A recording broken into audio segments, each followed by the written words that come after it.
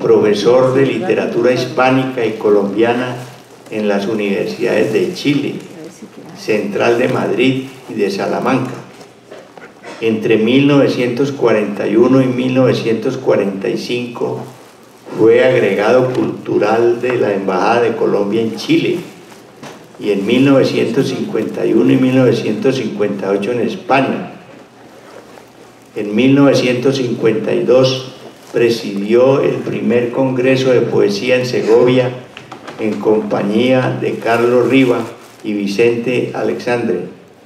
En 1953 volvió a presidir este Congreso, esta vez en Salamanca y en compañía... ¿Ya? En compañía de Gerardo Diego, Damaso Alonso y Giuseppe Ungaretti. Tú, ni sé, ni víspera, te amo. El puñal y la herida que lo encierra. La respuesta que espero cuando llamo mi manzana del cielo y de la tierra. Eduardo Carranza fue una persona que vivió en olor de poesía toda la vida. Él pensaba en poesía, actuaba en poesía. Entonces era un ser muy extraño para el común de los mortales por ese aspecto. Eduardo Carranza es de los últimos poetas que escribieron poemas para ser recitados en voz alta, como fue la poesía de Rafael Pombo, como fue la poesía de José Asunción Silva. Él comenzó desde muy joven a hacer poesía y a publicar poesía. Por siempre jamás, mi agua delgada, gemidora y azul, mi amor y seña, la piel sin fin, la rosa enajenada, el jardín ojeroso que me sueña. Las características de la obra de Eduardo Carranza mm, parten de la intención o la voluntad de romper con unos esquemas, eh, se puede decir, de sofisticación elitista en la poesía. Tiene varias vertientes y una voz personal. El poeta del amor, el poeta popular y el poeta que de una u otra manera habla del paso del tiempo y de la jugadilidad y de los grandes problemas del hombre. Su eh, interés por la, el espíritu americano, por la naturaleza de, de este continente y por, por, su lugar y su valor cultural propio, autónomo y creativo.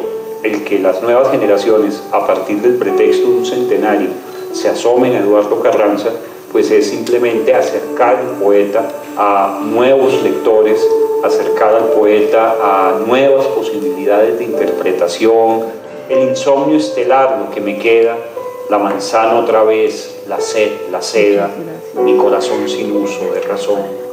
Me faltas tanto en esta lejanía, en la tarde a la noche por el día, como me faltaría el corazón.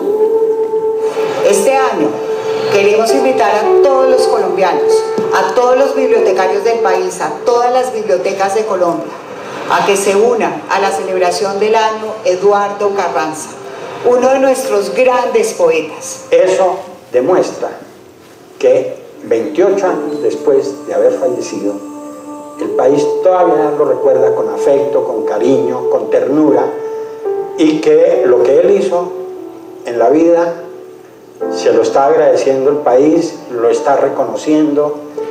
Vamos a poner de nuevo en nuestra mesa de noche los poemas de Eduardo Carranza.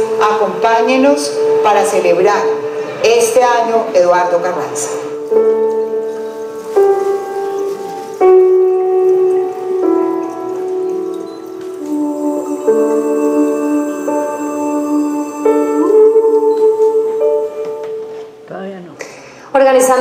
Celebración del primer natalicio del poeta Eduardo Carranza, el Ministerio de Cultura, la Gobernación del Meta y la Alcaldía de Sopó descubrieron que por cuenta de un capricho del cura del pueblo no habrá tumba para dejar flores en el aniversario.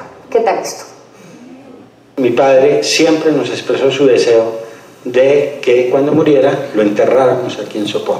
Así le expresó a su familia el anhelo de ser enterrado al lado de su madre, el poeta Eduardo Carranza, días antes de su muerte en febrero de 1985. Este cementerio era muy bello. Hoy es un recuerdo de esa belleza.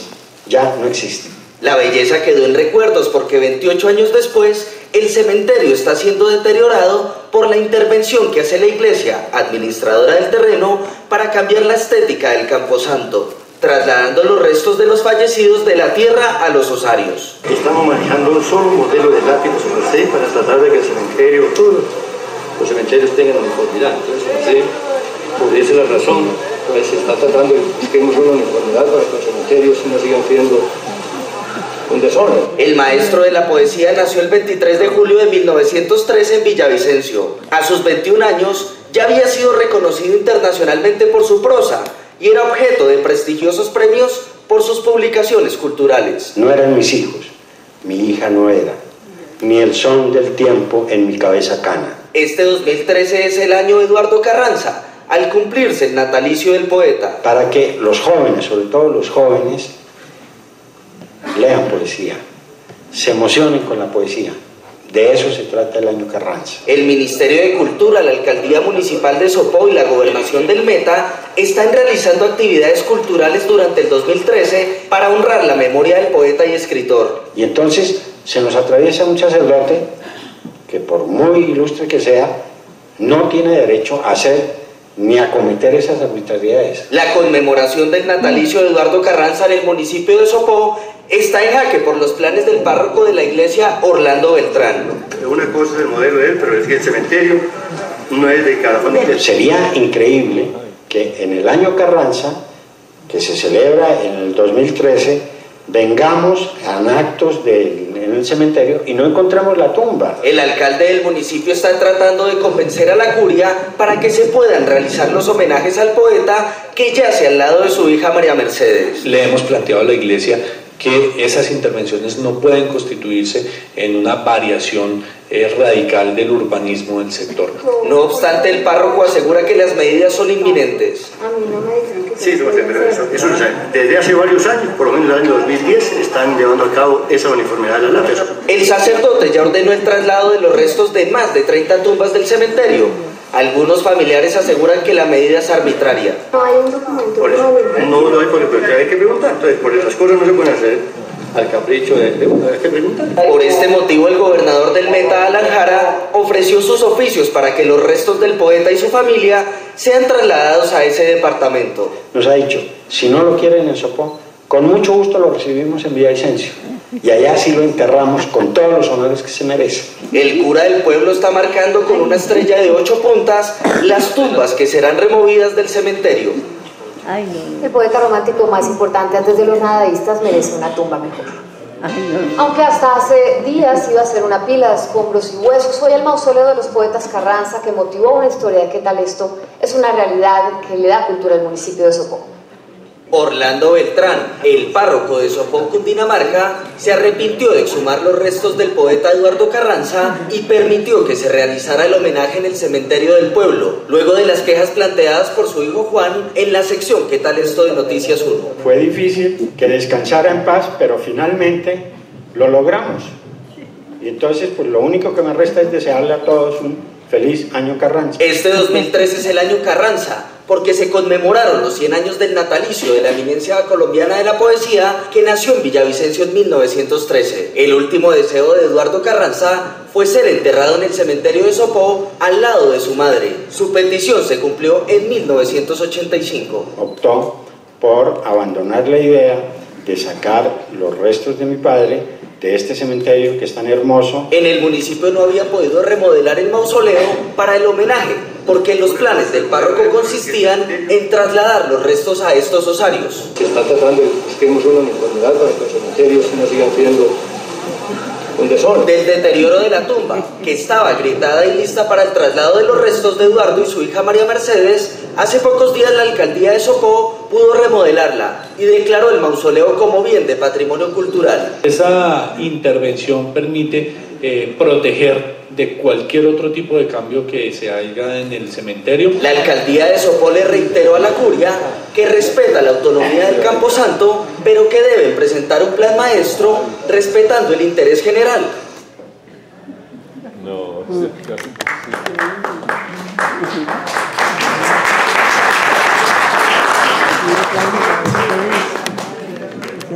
Bueno, ahí tienen una visión ustedes general de, de la obra y de la tumba, el nacimiento y la tumba del poeta Carranza.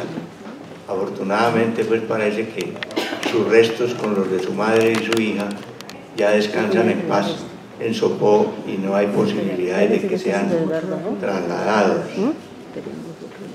Y voy, a, voy a continuar leyendo en la página 71 entonces del libro.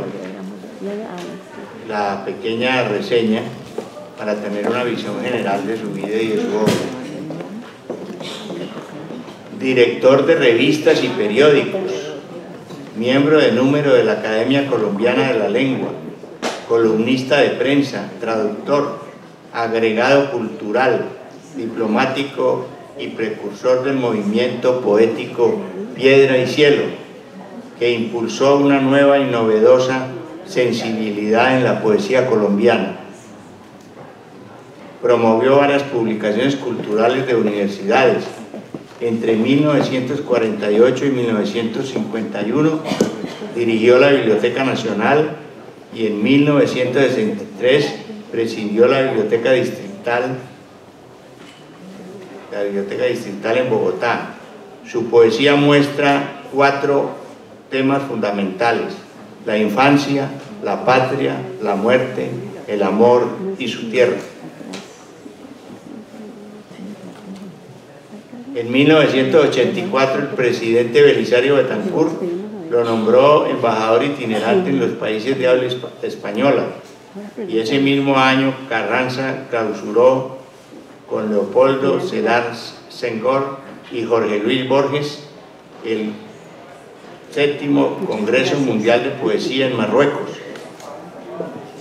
De su obra sobresalen Canciones para iniciar una fiesta, 1936, Seis. Elegías y un himno, 1939, Ellas, Los días y las nubes, 1941, Amor, 1948, Azul de ti, 1952, El olvidado y la alhambra, 1957, Los pasos contados, 1973, Hablar soñando y otras alucinaciones, 1974, y Epístola Mortal y otras soledades en 1975, entre otros.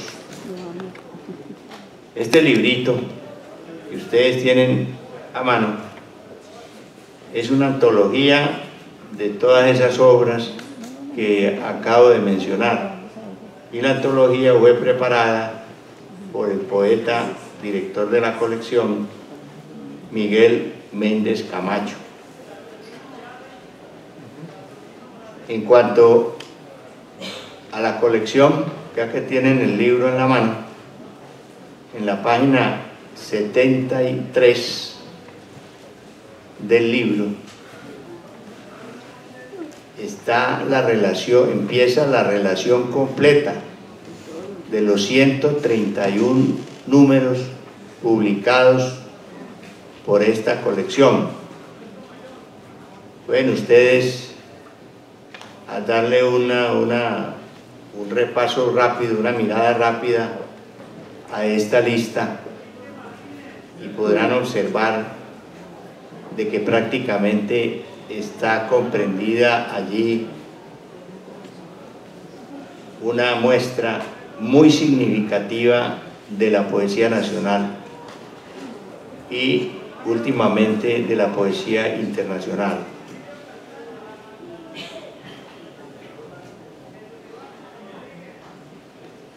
Tenemos entre otros el número 6, Antología de María Mercedes Carranza. El número 7, Morada al Sur, de Aurelio Arturo. El número 11, Antología de José Asunción Silva. Y el número 15, que quiero destacar, porque ahora haremos una relación a, a, él, a, él, a ese poeta. El número 15, una antología de Jorge Isaacs. En cuanto a, poesía religiosa, ya que acabamos de escuchar a las poetas, tiene dos números muy sobresalientes, uno dedicado a Sor Juana Inés de la Cruz, el número 116, y otro más reciente, el número 112, dedicado a Santa Teresa de Jesús, la doctora de la iglesia.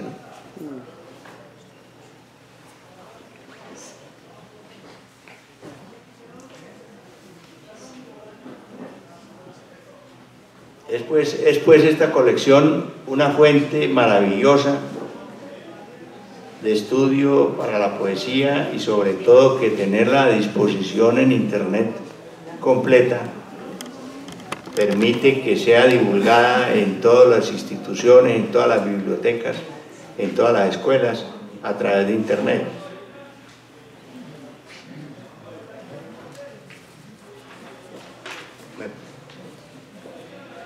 Me parece oportuno entonces hacer algunas referencias a lo que yo podría llamar la relación de Eduardo Carranza con Cali. Una de ellas es que la gobernación del departamento ha declarado que el año 2017 sea el año dedicado, el año Jorge Isaac, por cuanto su novela María cumple 150 años. Es de recordar que Eduardo Carranza fue invitado en el año de 1967, cuando se cumplieron los 100 años de la novela, a dar un discurso importantísimo en el Teatro Municipal. Ese discurso se encuentra publicado, fue publicado en el Magazine Dominical del Tiempo y lo reprodujimos hace varios años en NTC, o sea que lo pueden encontrar ustedes completo en NTC.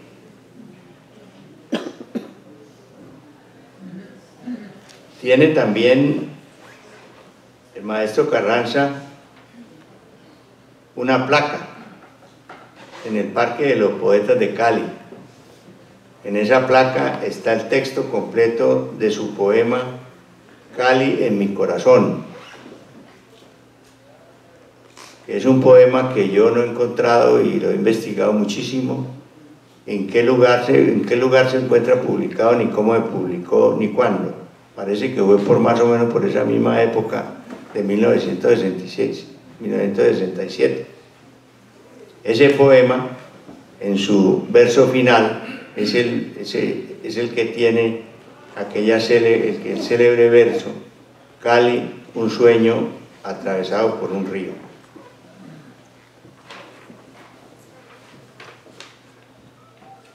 En, en, la, en la revista Gaceta, la revista Gaceta de de junio del 2013, el tema, el tema central de la revista estuvo dedicado por el año Carranza, estuvo dedicado específicamente a Carranza.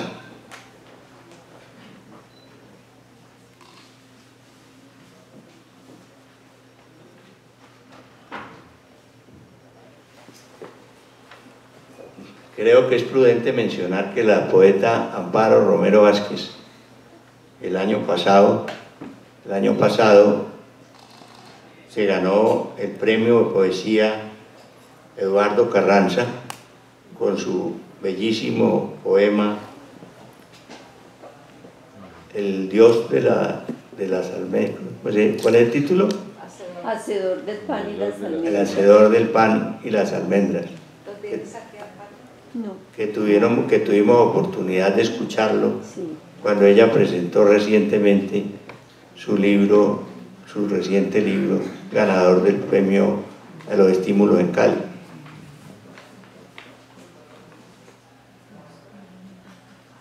Bueno, y una reverencia personal. En el año de 1900, yo conocí personalmente a Carranza en Bogotá en el año de 1959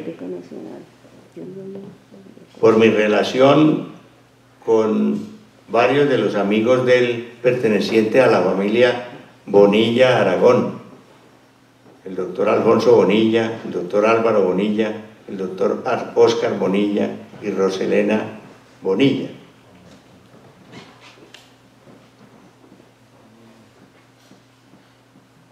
Precisamente por las, por las visitas que durante nuestro bachillerato hacíamos a una revista, que, a una librería que seguramente muchos de ustedes recuerdan, que era la librería Bonar, que quedaba ahí al frente de la, de la capilla de San Francisco, de, la capilla de, San, Francisco, de la Inmaculada. Esa, esa, esa maravillosa librería, el dueño de esa librería era Álvaro Bonilla Aragón. Y en el libro hay un poema dedicado por Carranza a Álvaro Bonilla Aragón. En el año de 1967 tuve la oportunidad de asistir al Teatro Municipal a escuchar el discurso sobre María de Alfonso de Eduardo Carranza. Y ese año pues es inolvidable para mí porque ese, en ese preciso año me gradué de ingeniero químico en la Universidad del Valle y conocí a María Isabel Casas.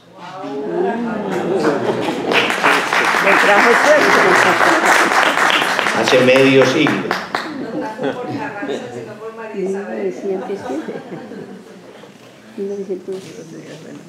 Bueno, la obra de Carranza en general pues ha sido admirada por casi todos los críticos que yo conozca o que haya leído y tiene muchos ensayos sobre su poesía. Sin embargo, pues el principal libro y la principal eh, ensayo que podría decir sobre su obra lo escribió su propia hija con la tesis de, que ella realizó para optar el título de en Filosofía y Letras de la Universidad de los Andes, que tituló Carranza por Carranza.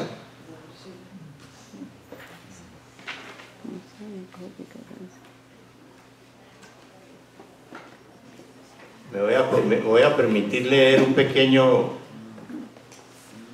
un pequeño párrafo de, de Carranza, de María Mercedes sobre su padre.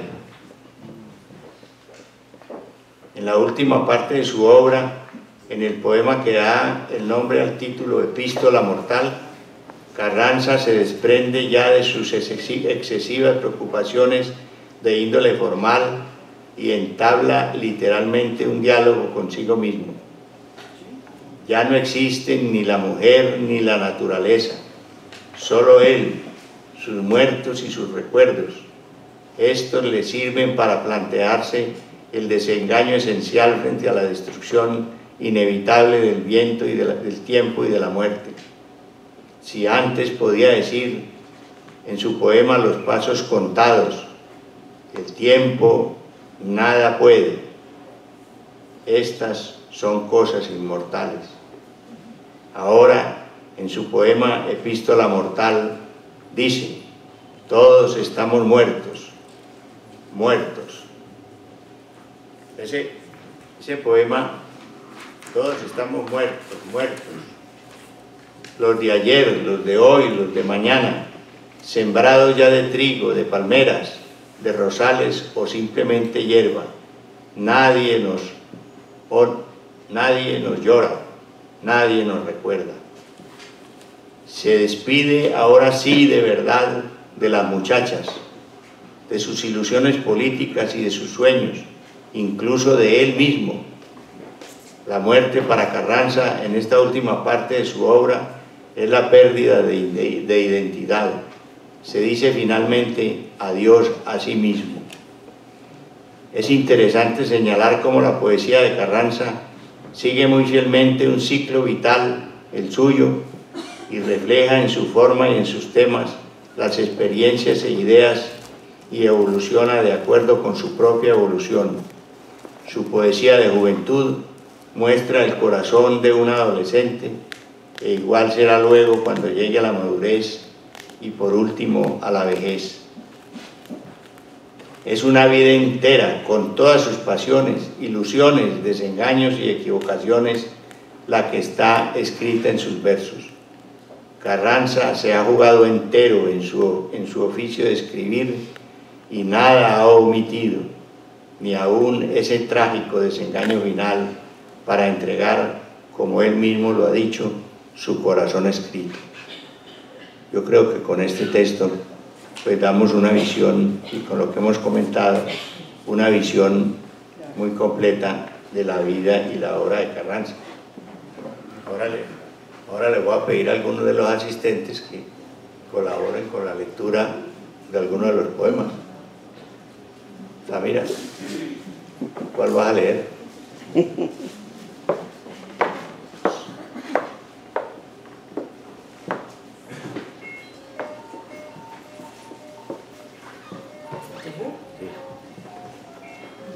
página? 40. Página 40. Interior. Los ojos que se miran a través de los ángeles domésticos del humo de la sopa.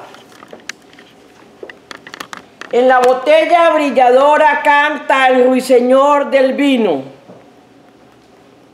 Reluce y tintinea lo visible en la fruta, el reloj, la porcelana. El pan abre su mano cereal sobre el mantel. Las flores. En el grabado antiguo toca el arpa una muchacha de 1800. El cigarrillo como que te asciende la mano y una puerta se entreabre sobre la sala silenciosa y tersa. Y más allá, un huerto se presiente o tal, o tal vez el recuerdo de un jardín. En el espejo estás ya como ausente. Por un instante se detiene todo y escuchamos absortos lo invisible de la noche que se abre a nuestro ensueño. Con el café llega un país lejano. El tiempo nada puede. Todas estas son cosas inmortales.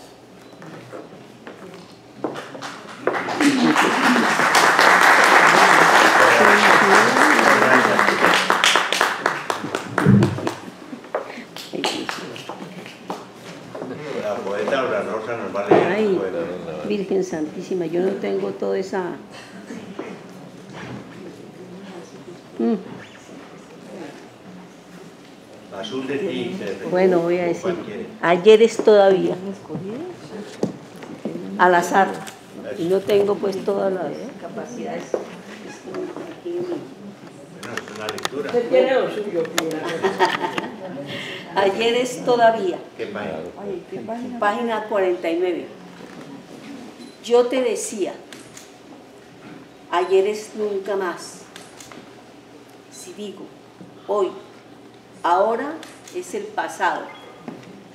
Ya sin remedio lo que estoy nombrando. Tú me dices, ayer es todavía. Nada de lo pasado ha pasado. Lo que una vez ha sido, será siempre. Y viene a nuestro encuentro cada instante. El pasado es ahora y es futuro. Amor, amor que avanza bellamente, quebrando ese delgado cristal de los instantes. Me enseñas a leer de nuevo el tiempo y entiendo su lenguaje diferente, desde que su latido es el latido desenfrenado de tu corazón. Todo, amor, se me aclara en tu presencia. Tú levantas la luz hasta mis ojos, la luz que se hace en ti, palabra pura, y me mira desnuda desde tu piel desnuda y tu sonrisa. Qué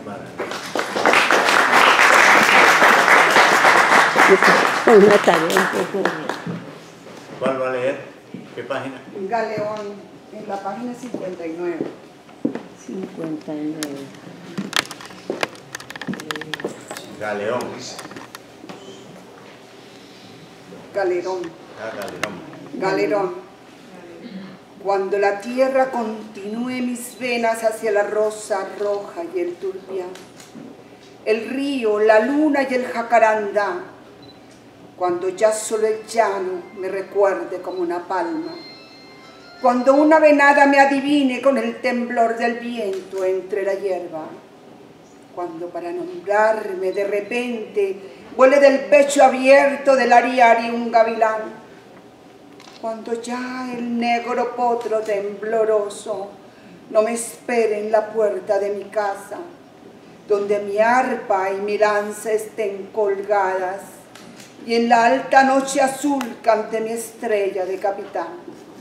Quiero que bailes, bailes sobre el polvo, que ha de contar mi historia enardecida entre la luz y el viento que me oyeron sobre la tierra que nos vio que bailes, bailes, piernas desnudas, pelo delirante, galerón.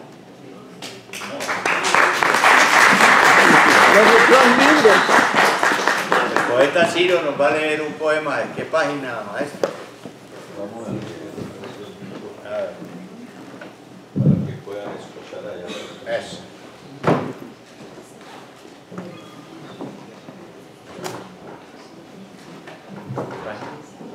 En la página 70. Soneto sentimental. Eres el cuándo, el dónde y el por qué. La respuesta final enardecida a mi pregunta de toda la vida. Lo que es, lo que será y lo que fue. Si hacia otro instante avanza el pie, si viajo a una ciudad entre dormida, si la súbita estrella aparecida, eres el cuándo, el dónde y el por qué. Si me llevo la mano hacia la herida, si ocupo este planeta y este día, y oye mi frente una palabra fiel, si confundo llegada y despedida, si en mis venas el viento desvaría, eres el cuándo, el dónde y el por qué.